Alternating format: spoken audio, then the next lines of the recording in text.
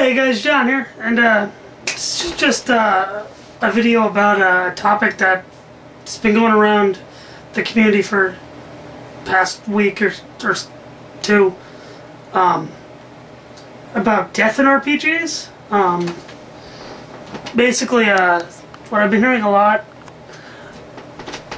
of it is um, should death, should like player character death in an RPG be heroic or should it be, you know, should it only be heroic or should, you know, we start factoring, you know, can they, should they die from traps and stuff?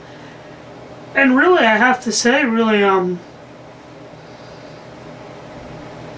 in terms of character death being heroic, I think that's very broad. Uh, because uh, it doesn't. Because, I mean, what the think is, you know, we're thinking, you know, the guy's, fl- you know, the paladin's flailing his sword at the dragon, and sadly, um, the dragon eats it or mauls him or whatever. Or, you know, dies in a sea of orc soldiers, you know, just swarming on this town, and he kind of dies protected. That's one way of doing heroic. Or heroic could be, um, heroic could be a trap. Um, could be um maybe you know uh, to get the magical crystal ball of of Mordenkainen uh, to spitball character out. The PCs, ha- you know, the one the PCs has to go up, take it off the pedestal, you know, Indiana Jones style, and when he does it, you know, maybe a giant boulder crushes him, or a arrow gets picked to his heart, or maybe the orb's actually a spirit of, spirit of annihilation that just destroys him. I mean, yeah, I mean, some of it, okay, the spirit of annihilation's a little not heroic, but with respect, you know, the mage should have cast detect magic, and the paladin should have been able to detect evil.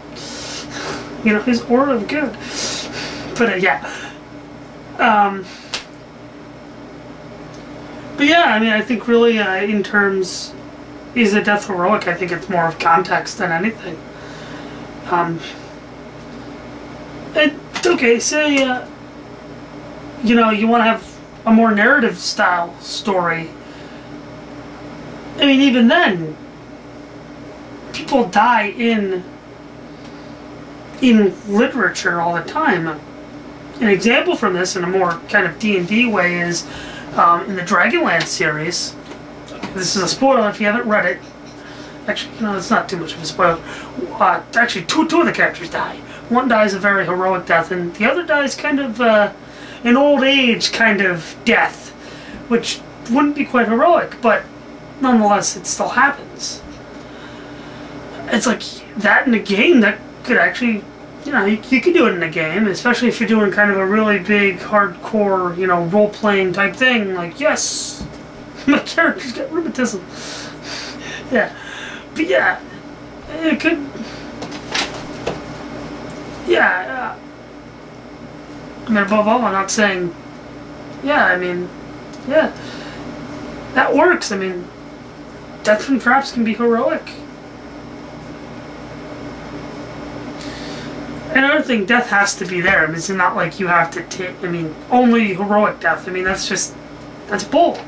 You know, because if you're crawling through a dungeon, or adventuring, say, just on a caravan, a trade caravan, there's going to be dangers there. And dangers you would have been briefed on at the start. Yeah. It's just, it's just how it is. I mean, if and if you can't, if you don't have death, then the game's not a game anymore because if there's no death, if there, I mean, I mean that's that's pretty much losing. You know, if you can't lose, you can't win, or well, you can, I guess, win, but it's not win. If you guys get that.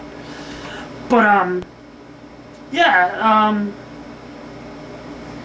and I guess really also like really death and narrative versus kind of simulation really does depend on the game. Because I mean, Dungeons and Dragons when it first came out you know, written by Gary Gygax and Dave Arneson.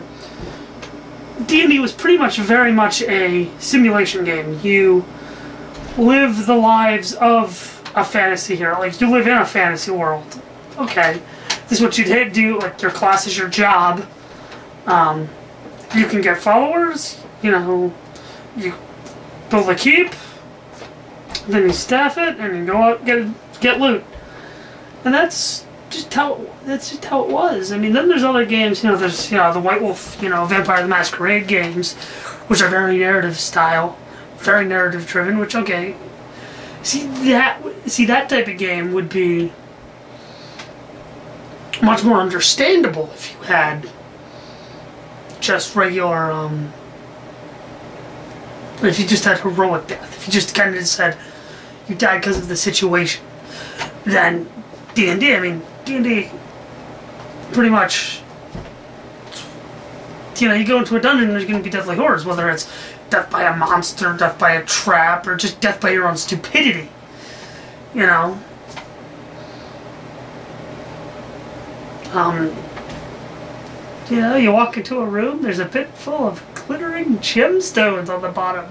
You jump into the pit looking for the treasure, and oh, oh crap, it's gem encrusted spikes! You're impaled and, dead and die! Oh, God! yeah, I wonder how many people are going to get that reference. Anyway, and then there's, you know, games like Cyberpunk that are gritty worlds. I mean, Cyberpunk 2020 is like one of the most grittiest, grittiest, bloodiest combat systems ever.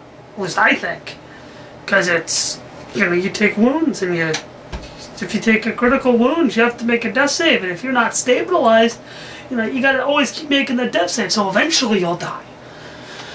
You know? Not to mention you can actually die from just shock. You know that's something that I don't think a lot of RPGs do. Especially a lot, a lot of modern games don't do that. Once again, you know, it's very real. You know, very real. And it's one reason why that system I love. I love that game. But yeah, anyway, Death, yeah. Um, just so I can reiterate, I'm a big fan of just... The PCs have to know that they're in danger, you know, and if they're not in danger of... I mean, the, the, the their danger doesn't have to be death, but I mean, it's really what it comes down to. I mean, even if their danger is, you know, the evil wizard, you know, in the tower. It's like, yeah, well, the evil wizard's gonna kill you. He may not kill you with a sword, he may kill you just with a fireball, but he's still gonna kill you. Or maybe he's not. Maybe he's just the evil wizard just wants to torture you. And just keep you, and keep healing you, and keep you alive. You know, so you can see the world crumble. crumble. God, I'm sadistic. But yeah, I mean, death just has to be there, and whether it's heroic or not, because really, life, we don't go out, in real life, we, we don't go out saying, alright, I'm gonna die, so I'm gonna die out in a hail of gunfire and bullets and not and swords and yeah, yeah. No, no, we don't do that. Well, because we don't live in the Middle Ages.